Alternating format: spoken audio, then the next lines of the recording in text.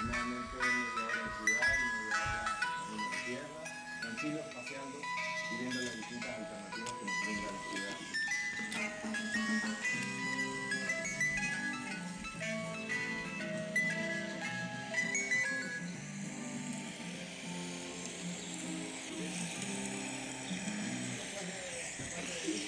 Estamos en el Parque Natural Municipal Arroyo de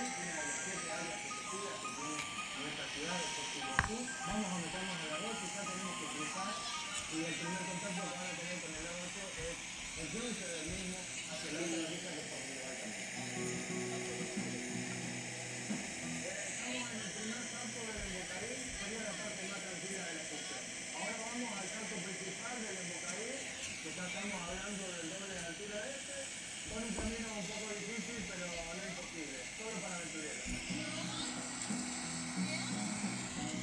Es una de las pocas excursiones que se escapan un poco del circuito masivo que tiene Iguazú.